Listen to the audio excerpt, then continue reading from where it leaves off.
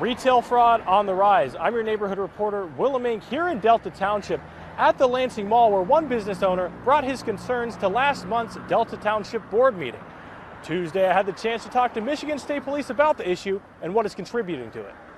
Michigan State Police confirmed they have seen an increase in retail theft and cited a couple different reasons behind it, including lack of punishment.